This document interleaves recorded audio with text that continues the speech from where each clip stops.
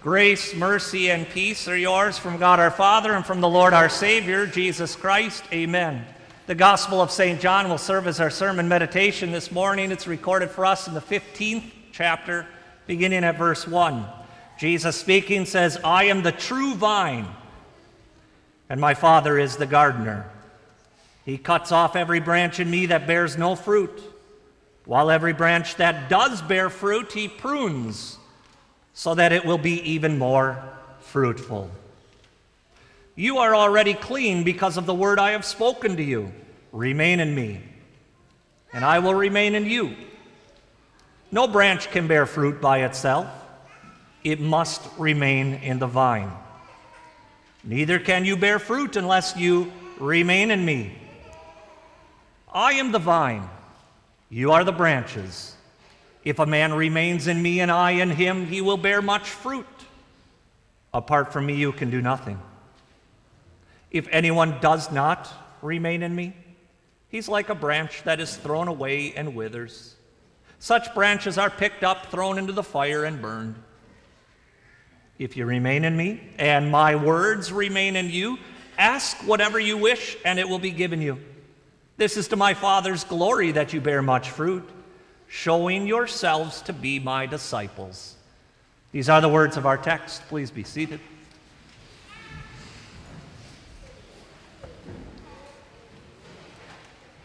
In the name of God's Son, Jesus Christ, dear Christian friends, are you connected to the right vine?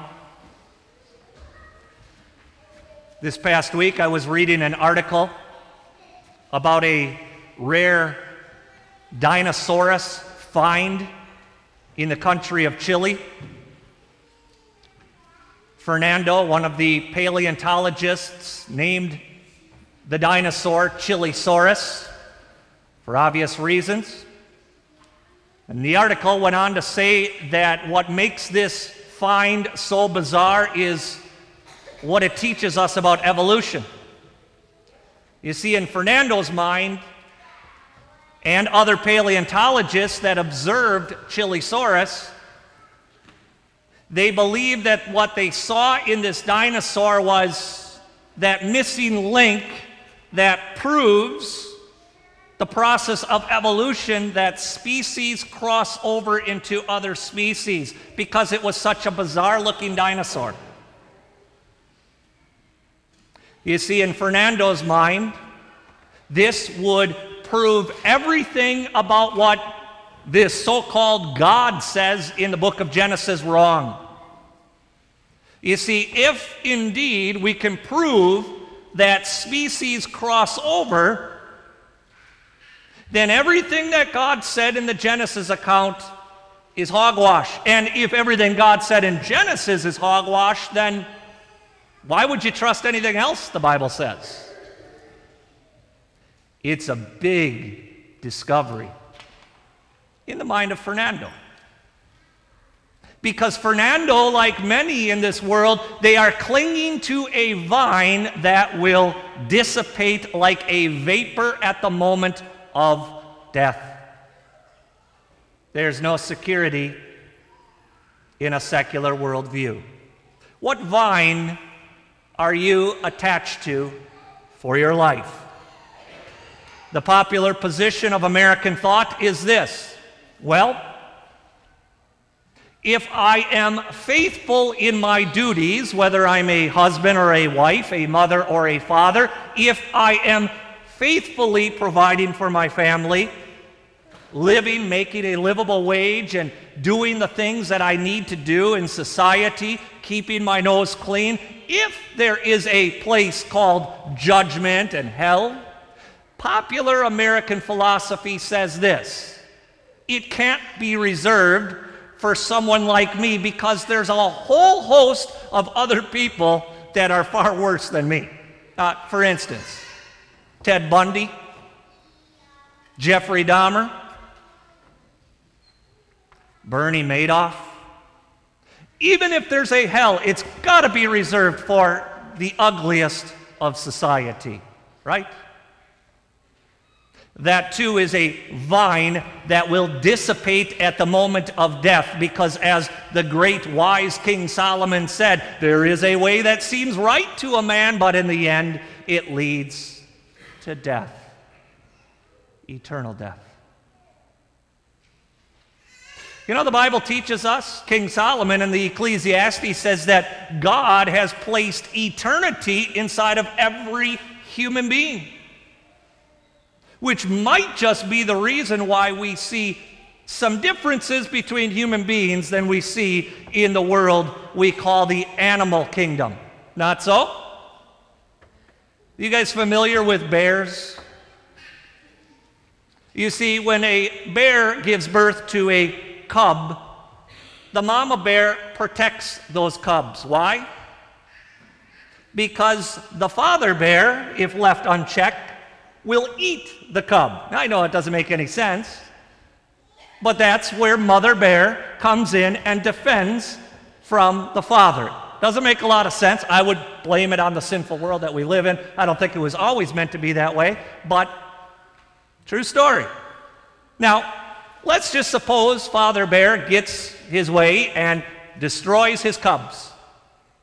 Do you see a whole host of other bears coming in to arrest Papa Bear, put him into prison, and say, hey, we lock up people like this in society because you know what? We got ground rules. No, of course not. So then, why, when someone decides to kill their own child, why do we put them in prison? Why are we guided by a moral guide and a conscience and fish are not? Is that something that evolved too? You see, the Bible says God has placed inside of the heart of every man eternity, which gives to man this idea that there's something more after this life. What it is, I may not know, but there's something. God knows. I know. And the Bible teaches us what vine are you clasping onto? You see, in America today, and we see it too often in the church, we have what are called these self made men. People who want to be independent of their creator. The very thing we are told about Adam and Eve in the garden, they wanted to be independent of their creator. And we see that play out in civilization every day, don't we? I don't want some archaic book to restrict me in how I want to live my life. I don't want a moral guide of, of absolutes, which in itself kind of doesn't make sense because if you don't have moral absolutes, you don't need police. And if you don't need police, well, we could just have chaos. And if I want to rob a bank, I can rob a bank. Or if I want to murder someone, I can murder someone. So it's kind of an inconsistent philosophy when you stop and think about it because we do want moral absolutes, but we just don't want the kind that are guided by our God. And I don't need the church or any man dressed in a white dress to tell me how to live my life. What vine do you cling to in life? Because a lot of people cling to that independence vine, but that too will dissipate at the moment of death. There was a man by the name of Lee Strobel, an award winning legal journalist for the Chicago Tribune, and also, no surprise, an atheist. He had a very devout Christian wife and still does. And uh, the children in the home were also raised with mom's faith. And it was starting to cause a little tension in the home because Lee couldn't figure out the superstitions of Christianity, why people pray to some unknown entity, and uh, why they have to go to church and, and do all of these things. And and so, what he decided to do, since um, he was kind of at a loss as to why his wife and children were doing these things, he decided on the Chicago Tribune's dime, smart man, he decided to set out and disprove the historicity of Jesus Christ so that he could come back with verifiable evidence that Jesus not only never existed, but he certainly didn't rise from the dead. And so on Chicago Tribune's dime, he flew over several occasions over to Jerusalem and Judea, and he, and he toured, and he had rabbi after rabbi. You know, rabbis deny Jesus Christ. They don't believe in him either. They believe in the historicity of him, but they don't believe he rose from the dead. And in his search to disprove Christ, you, should, you can watch the movie on Netflix, a documentary on Lee Strobel, or read his book. It's pretty interesting. In his position to disprove Christ, the Holy Spirit actually transformed his heart. And he came to believe that not only is he a historical person, not only did he really die on a cross, but he rose on the third day to prove his victory over death. Something that no man has the solution over. What vine do you cling yourself to in this life? What philosophy, what secular worldview have you embraced? There's only one vine that will save you, and it's the Lord Jesus Christ. And you know, in our text today, in John chapter 15, you know how many times Jesus says the word remain? In five verses, verses 3 through 8, Jesus says the word remain eight times. Remain in me, and I'll remain in you. The word remain is a present active imperative, simply meaning this it's a command. And you know what that command does to my heart? It brings me both conflict and comfort. And let me explain why.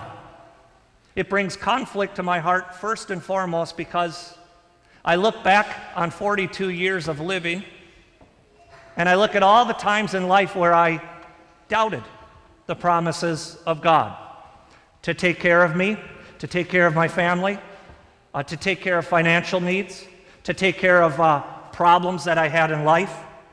I look at all the times as I look back in life and say, I didn't always remain in you, dear Jesus.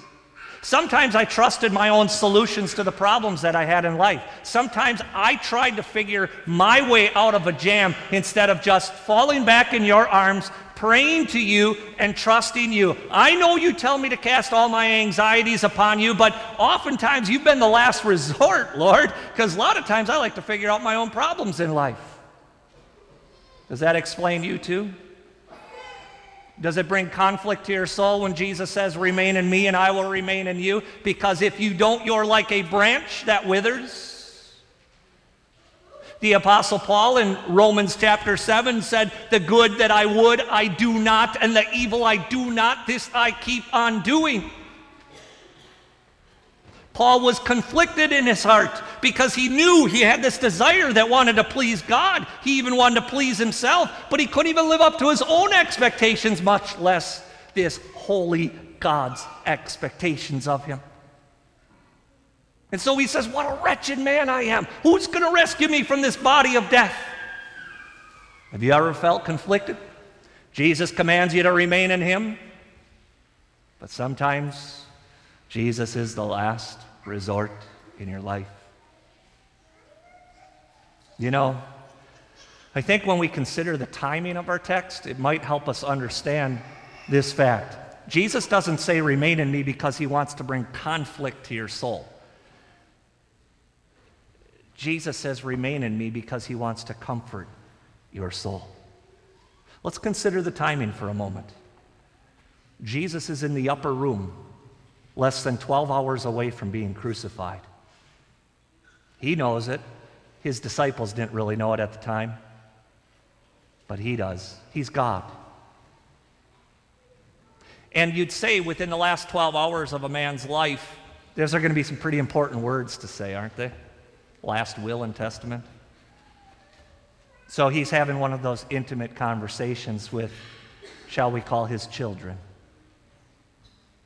He wants to bring them comfort because in less than 12 hours, he's going to have the appearance of a very impotent man.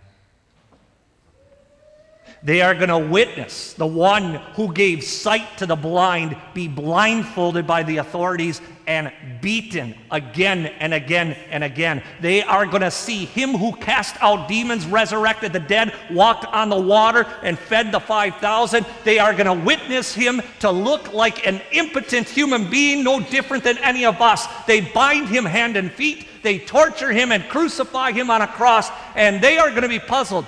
I thought this was our Savior. I thought he was going to be the one to redeem Israel. Jesus knew that their hearts were going to be perplexed by what they were about to see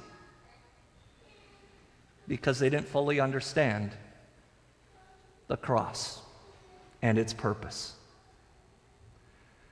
Jesus wasn't helpless in the matter. He came into the world with a distinct purpose to die by execution on a cross. I, Isaiah, in, you know, Isaiah in the 53rd chapter, which is written 700 years before Christ and 400 years before crucifixion was even invented, Isaiah wrote all about his crucifixion in the 53rd chapter. He was pierced for our transgressions, he was crushed for our iniquities. The punishment that brought us peace was upon him, and by his wounds we are healed. They didn't fully understand it at the time, but they needed to understand the message of the cross. Dear friends in Christ, we all need to understand this message of the cross because when Jesus came into this world, he came to represent the real sin that makes you feel really guilty in this life. The sin that you carry in your life because of decisions you've made in the past, poor judgments you made, unkind words laziness, call it whatever it is, greed, selfishness, it doesn't matter. It infiltrates every one of our hearts. When Paul says, The good I would, I do not, the evil I do not, this I keep on doing, Paul now has a solution for the evil inside his own heart. It's Christ. And so do you and I. When Jesus says, Remain in me, he's simply saying, Remain in that cross and its message because he comes in to bear our sin. What Jesus did in essence was this the Father sent his only begotten to represent human beings. That's why he had to be born of a virgin woman. He had to be truly human, but he wasn't just human, he was also true God, conceived by the Holy Spirit. Interesting side note the Muslims actually believe that Jesus was born of a virgin. Kind of interesting. It's about the only thing they get right, but they do get that one right. He was conceived by the Holy Spirit of God. He couldn't just be human because a human being can't die for another human being and spare their life, unless, of course, they're holy and perfect, and no human being is holy and perfect. See, I could die for you for maybe a few years of your life, jump on a grenade for you, but that's about it. That's all I could do. Jesus had to be true God so that his sacrifice on that cross could count for all mankind. And so, what God did in essence was, I'm going to put all of the sin and the guilt that every human being experiences, I'm going to put it all upon you, my beloved Son, and I'm going to let you walk resolutely to Jerusalem. You know how many times in the Gospels Jesus predicts that he's going up to Jerusalem to die? He didn't come into this world to teach you how to be good little boys and girls, he came to die for bad little boys and girls, for you and me. That is the message of the Christian faith that Christ comes to be the vine that gives you life because now we're forgiven of our sins. Now we can stand before this holy God. Remember, you can't even live up to your own expectations. I know this. I can't live up to my own expectations either. And I know you can't live up to God's expectations. But through faith in Jesus Christ, God accepts you for who you are warts and all, scabs and all. And he now says, You're my precious son, my precious daughter. And Jesus is simply saying, Remain in me because it's the only way life doesn't come to an end for you. Remain in my love. Remain in my word. Remain in the sacrament that I institute. Oh, by the way, that was the same night he was saying, Remain in me. He now institutes a blessed and sacred meal and says, In, with, and under, with my body and blood comes the forgiveness of your sins. You know, this past week, my grandfather died at 93 years young. I got to see him about a week ago, uh, his other grandson up in the balcony. It was, it was a really special moment because we knew that life was expiring on him, and so we got to say our goodbyes to him from this earthly life, have a devotion with him, pray with him. And, and I knew that, you know, with the gasping of breath, that it probably wasn't going to be months, maybe it was going to be weeks, but probably was going to be days. And so, fully expecting to hear that grandpa had gone the way of eternity.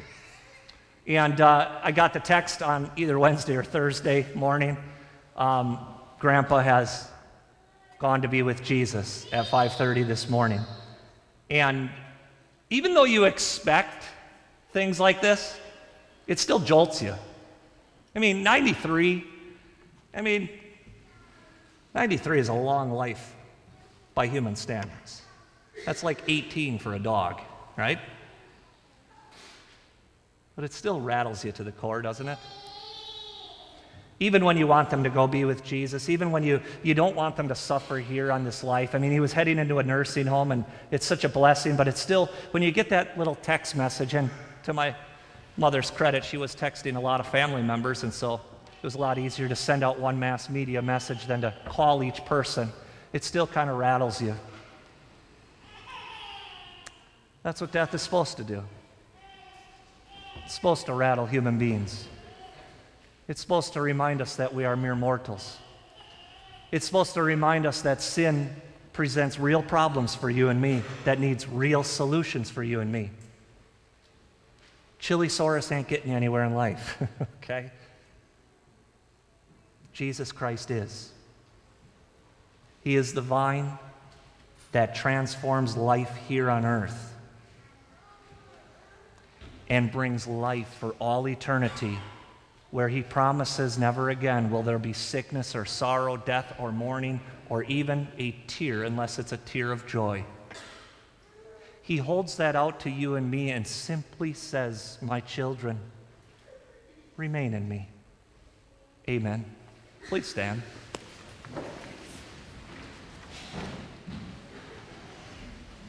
May the peace of God, which surpasses all human understanding, may it guard, may it keep your hearts and your minds through faith in Jesus. Amen.